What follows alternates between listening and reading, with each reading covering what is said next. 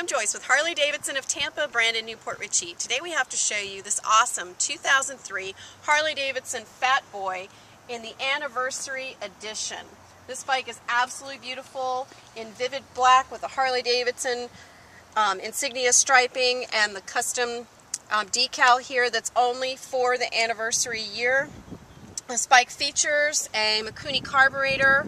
Um, it's got the flamed upgraded boards and pedals.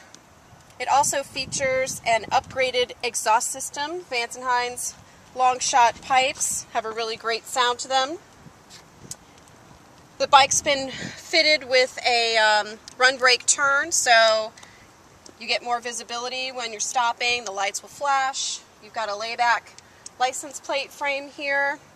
They even took the time to fill in the center hole for the back passenger pad so you get that leaner, kind of cleaner look on the fender.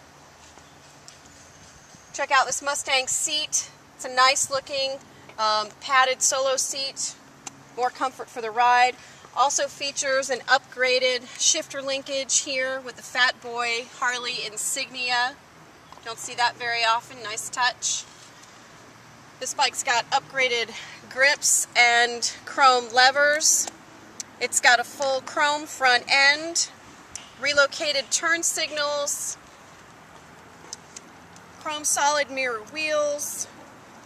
This bike's pretty loaded and very clean.